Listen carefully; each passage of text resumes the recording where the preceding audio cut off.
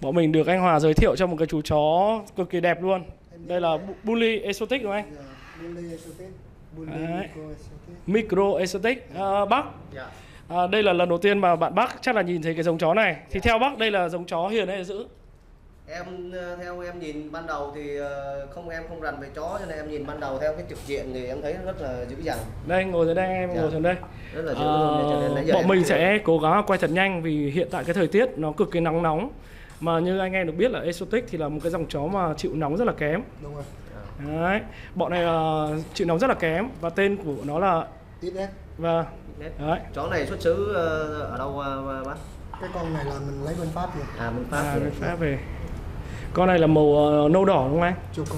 Choco, chocolate. Đấy. Thức ăn của nó là những gì hay là thức ăn riêng ờ, hay như thế nào bác? Nếu mà nuôi. À. Gà. Thịt gà.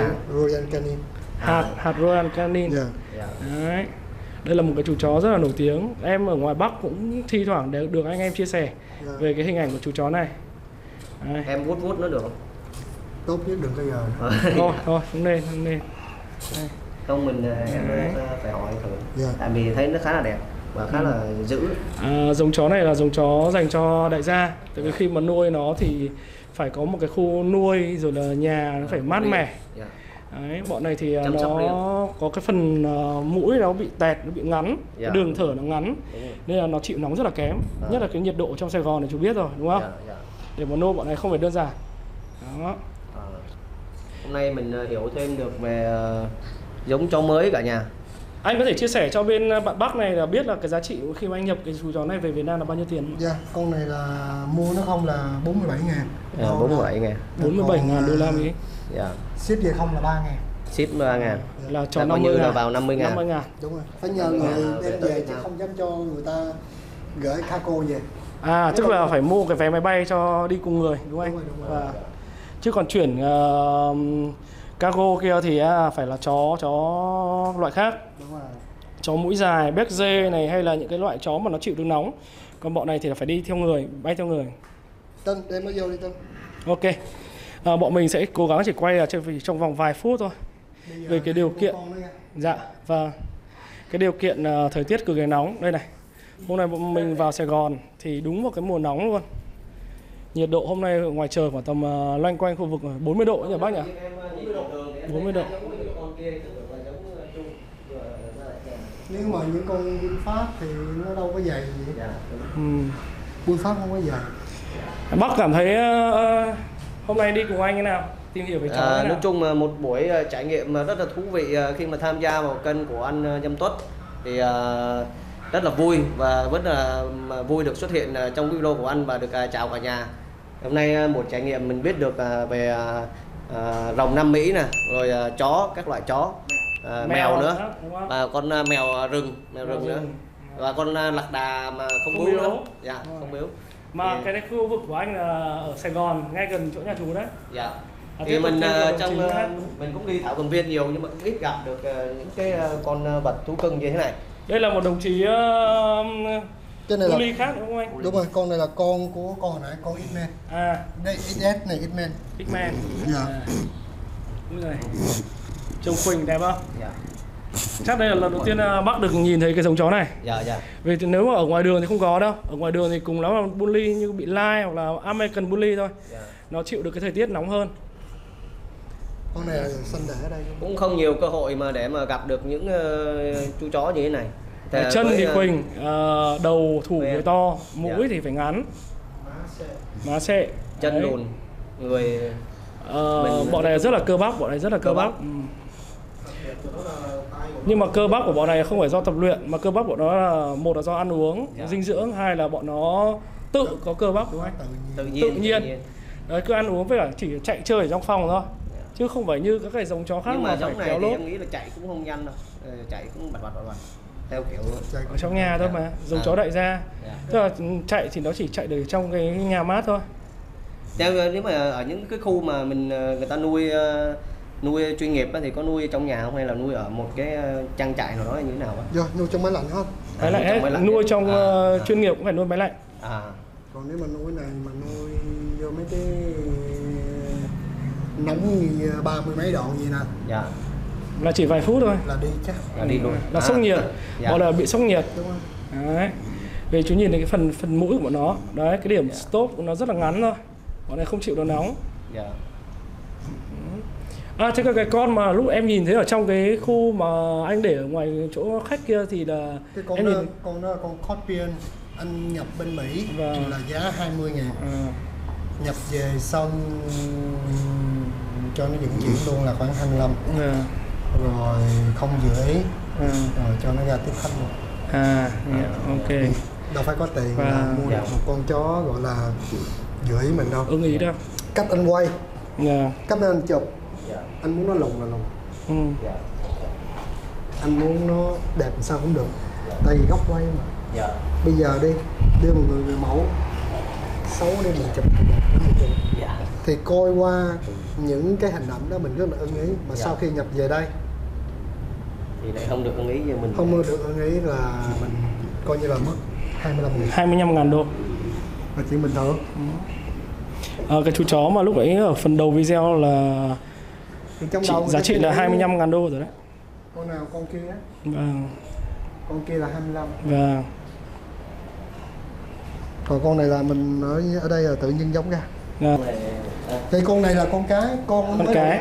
mới đem ra là con đực à đây là con mẹ à? Đây là con Con mẹ. cái con vừa rồi.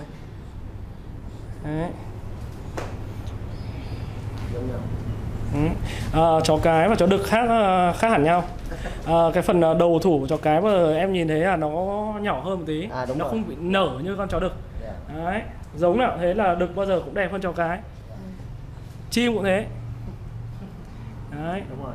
Đây là gọi là bully exotic nhá. Exotic. micro. Đấy. Cô chó cái này anh nhập bên ý luôn ạ. À.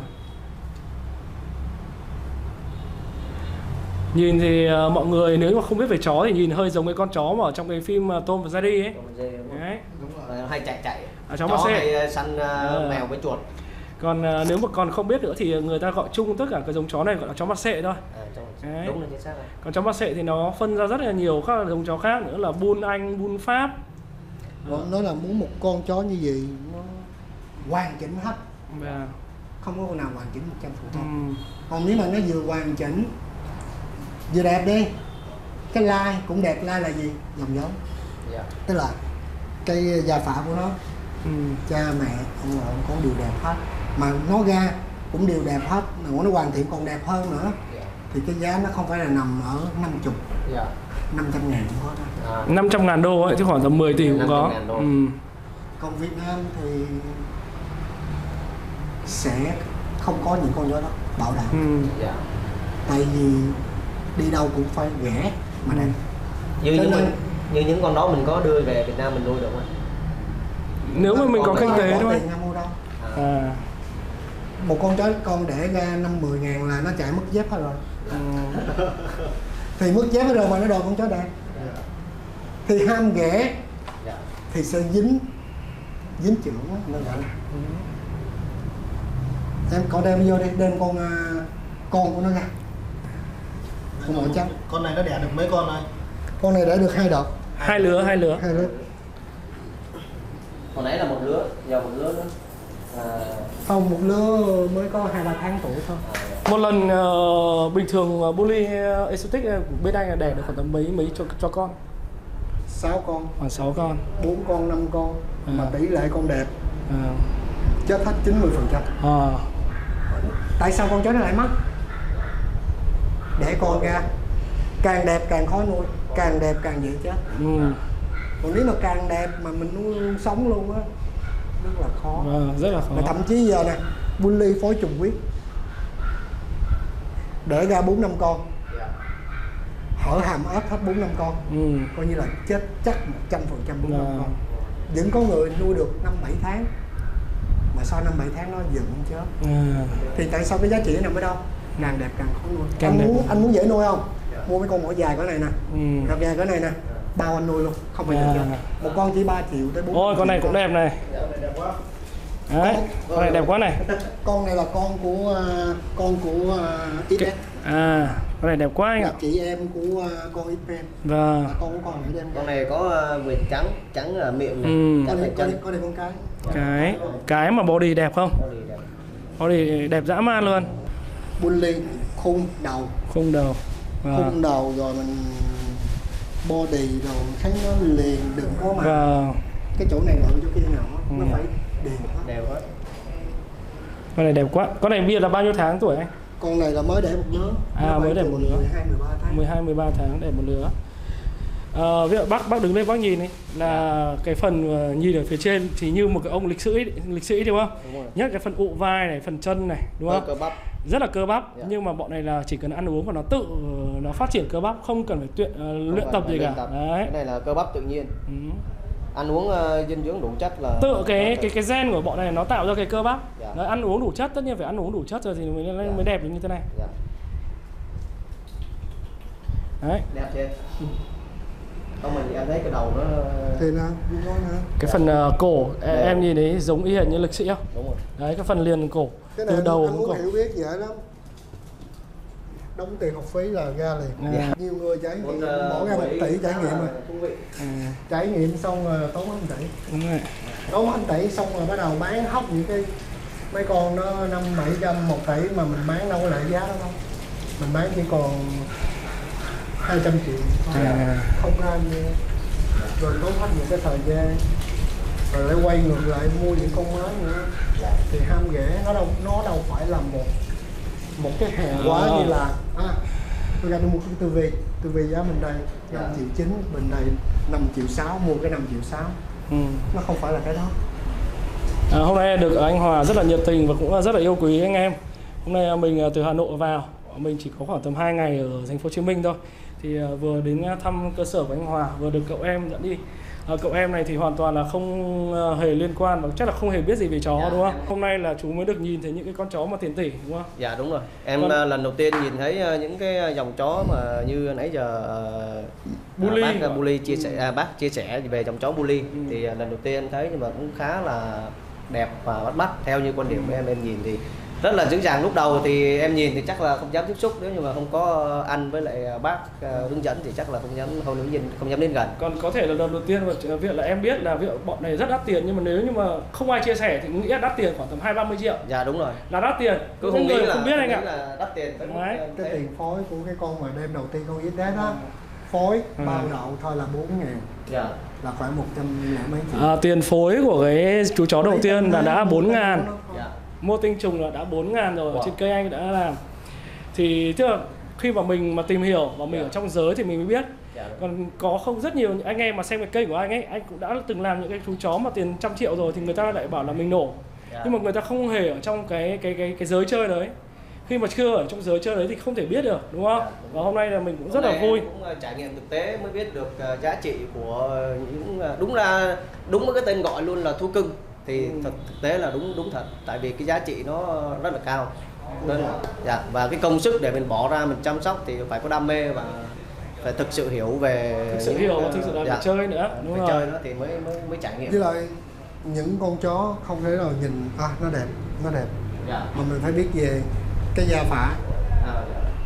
ở bên nước ngoài mình theo dõi những cái trại nào gia phả đó mình phải biết hết Dạ. Cũng ờ, cảm ơn ờ, bác hôm nay đã chia sẻ cho em một ờ, người em. Nói chung là tụi em cũng không có rành về thú nuôi ok nhiều. Dạ hôm nay cũng rất là vui được tham gia vào cái video của một người anh từ Hà Nội. Dạ thì cũng cảm ơn bác sáng giờ đã chia sẻ cho tụi em biết được thêm nhiều về thú nuôi. Dạ. Dạ và cũng được biết về những loại chó của- đúng với cái tên gọi là thú cưng. Dạ. Thật sự hôm nay một trải nghiệm rất là thú vị của bản thân mình à, đã được tham gia vào kênh của anh. bác. Dạ, cảm ơn. em cảm ơn bác Dạ. hôm nay bác quá là nhiệt tình với anh em Dạ. Dạ, vâng, cảm ơn bác và hẹn gặp lại bác ở một cái chương trình tiếp theo. Dạ. Nếu như em có cái cơ hội mà vào Sài Gòn công tác thì em cũng xin um, anh em có nhiều thời gian nói chuyện với nhau hơn. ok dạ, Vâng, cảm ơn dạ, cảm ơn